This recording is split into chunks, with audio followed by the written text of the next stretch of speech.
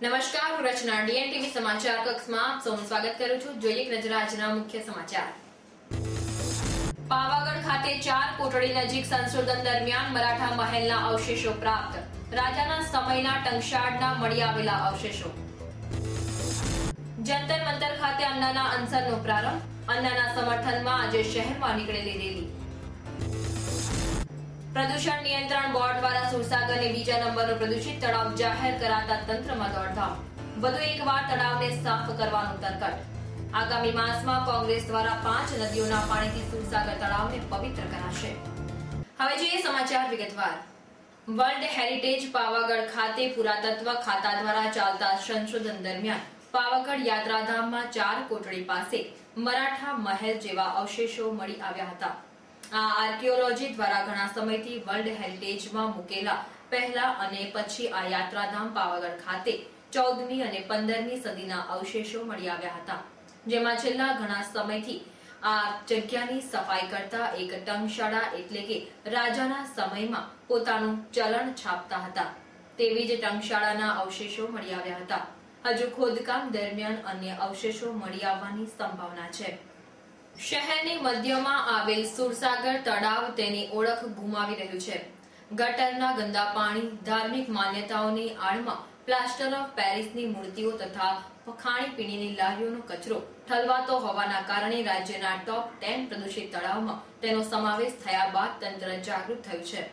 આજે સેવા સદન દ્વારા સુરસાગર તળાવમાંથી ગંદકી દૂર કરવા જેસીબી મશીનનો ઉપયોગ કરવામાં આવ્યો હતો. આ કામગીરીનું નિરીક્ષણ કરવા ભાજપ પ્રમુખ ભરત ડાંગર શિક્ષણ સમિતિના ચેરમેન ક્યુ રોકડિયા તથા ડેપ્યુટી કમિશનર શુકુર ખાસ ઉપસ્થિત રહ્યા હતા. ઉલ્લેખનીય છે કે સુરસાગર તળાવમાં ગંદકી માટે જવાબદાર ખાણીપીણીની લારીઓ સેવા સદનના અધિકારીઓના આશીર્વાદથી જ ઊભી રહેતી હતી. અરે જે અંદર કચરો નાખે છે, એ કચરોની ઉપર એક કાબુ લેવાની એક એક્સરસાઇઝ હાથ ધરવામાં આવે છે. કે ખાસ કરીને આર્ટ ઓફ લિવિંગ વાલે જે વોલેન્ટિયર્સ છે એ લોકો કાલે શામથી જ તળાવની ચા- ચારો બાજુમાં રહીને લોકોને સમજાવે છે અને એક નાટક પણ કરવામાં આવે છે.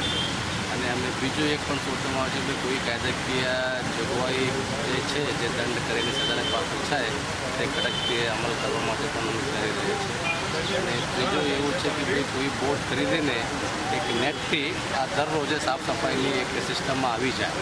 એ લોકો લાશે તો દરરોજ નેટથી કાઢી લે. અને બાયોલોજીકલી અમે તમે જોઈ રહ્યા છો પાછળ જે એરિયેટર મૂકવામાં આવે છે અને એનાથી ઓક્સિજન અંદર જાય અને જે પ્રક્રિયા ઇકોસિસ્ટમની પ્રક્રિયા ચાલુ હોવું જોઈએ કે બયો બાયોકેમિકલ ઓક્સિડેશન પ્રોસેસ શરૂ થાય, તો આપે આપ વોટરની ક્વોલિટી સુધરી જશે.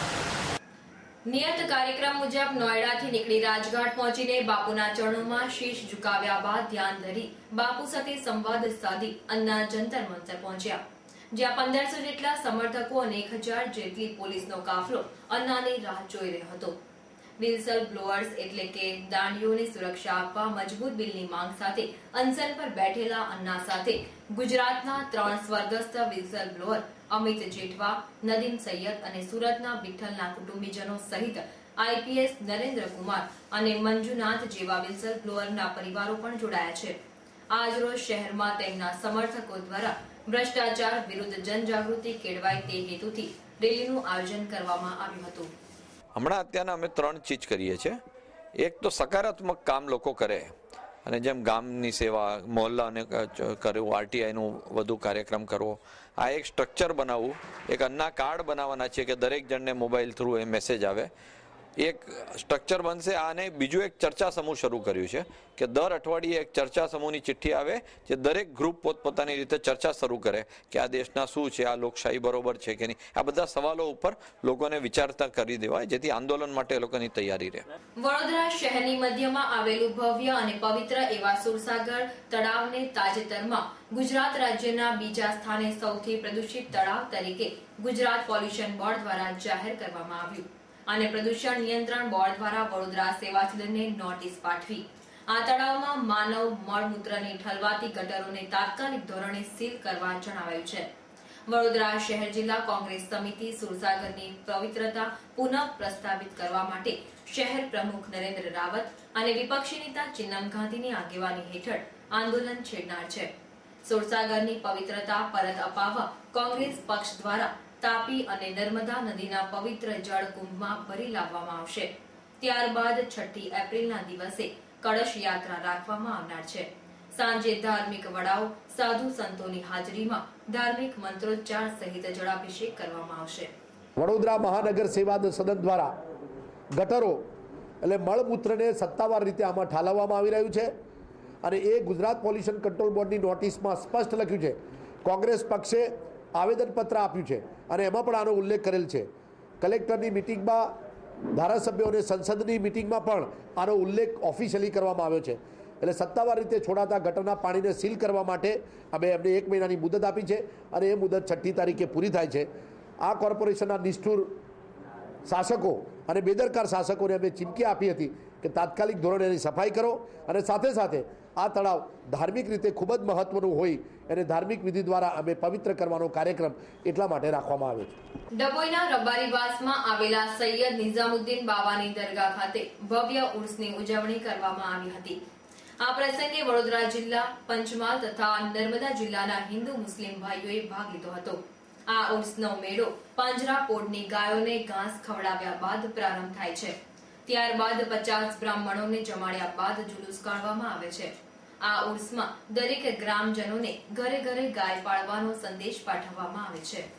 ભારતીય જનતા પાર્ટી આયોજિત ડોક્ટર સેલની ક્રિકેટ ટુર્નામેન્ટનો આજથી પોલો ગ્રાઉન્ડ મેદાન ખાતેથી પ્રારંભ થયો છે. ડોક્ટર સેલની આ ક્રિકેટ ટુર્નામેન્ટમાં Sayaji hospital, Gotri hospital, Pipaliya hospital સહિત કુલ સોળ ટીમ ભાગ લેનાર છે. આ રવિવાર સુધી ચાલનારી આ ટુર્નામેન્ટમાં બે મહિલા ટીમ પણ ભાગ લેનાર છે. આ ટુર્નામેન્ટને Alembic hospital centurion hospital welfare hospital તથા ઇન્દુ બ્લડ બેંકના દ્વારા સ્પોન્સર કરવામાં આવી છે શીતલભાઈ મિસ્ત્રી ત્યાં રમવા ગયા રાકેશ રાકેશ પુરાણી છે અહીંયા બેઠેલા ગિરીશભાઈ છે તારેક તમે લેતા જાઓ મેખેન આપી દેજો વાંધો નહીં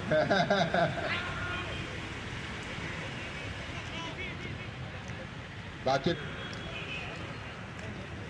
ધર્મેન્દ્ર જલ્દી બેસી ગયા, ફરીથી એકવાર વિનંતી રવિવાર છે એટલે એવું નહીં ડભોઈના વડોદરી ભાગોળથી ગતરોજ ચેટીચંદનો વરઘોડો નીકળ્યો હતો. સિંધી સમાજના નવા વર્ષની ઉજવણીમાં નીકળેલા આ વરઘોડામાં સિંધી સમાજના અગ્રણીઓ હાજર રહ્યા હતા. ડભોઈ ટાવરથી લાલ બજાર થઈને વિવિધ વિસ્તારોમાં ફરી વરઘોડો મંદિરે પરત ફર્યો હતો. વરઘોડામાં બાળકોએ ધારણ કરેલી વિવિધ વેશભૂષાએ લોકોમાં આકર્ષણ જમાવ્યું હતું. વાઘોડિયા રોડ પર આવેલા નાલંદા પાસે વડીલ વિસામા ખાતે આજરોજ કુવારિકા પૂજનનો કાર્યક્રમ રાખવામાં આવ્યો હતો, જેમાં એકસો પચાસ જેટલી કુવારી કન્યાઓને પૂજન કરી ભોજન કરાવવામાં આવ્યું હતું. આ પ્રસંગે પરમ પૂજ્ય એકસો આઠ ડોક્ટર વાગીશ કુમાર મહોદય, સ્થાનિક કાઉન્સિલર શૈલેષભાઈ સોટા તથા પૂનમબેન શાહે કુવારિકાઓને આશીર્વાદ પાઠવ્યા હતા. મહારાષ્ટ્રીયન સમાજનું નવું વર્ષ ગુડી પડવાના તહેવારને અનુલક્ષીને આજે એક પ્રભાત ફેરીનું આયોજન કરવામાં આવ્યું હતું. આ પ્રભાત ફેરી દ્વારા મરાઠી એકત્રીકરણનો મુદ્દો ખાસ હતો. મહારાષ્ટ્રીયનોની મુખ્ય રમતો જેવી કે કબડ્ડી અને ખો ખો વિસરતી જાય છે.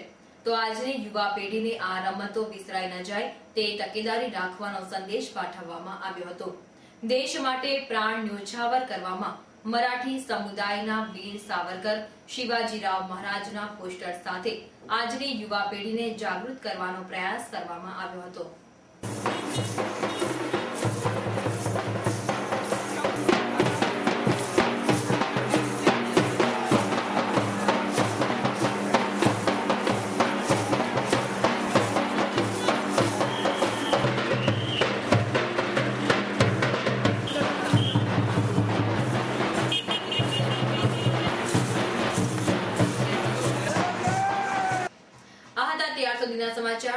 સમાચાર માટે આવતીકાલે આ સમય ફરી મુલાકાત થશે. ત્યાં સુધી ડીએનટીવીની સમગ્ર ટીમને રજા આપશો. નમસ્કાર.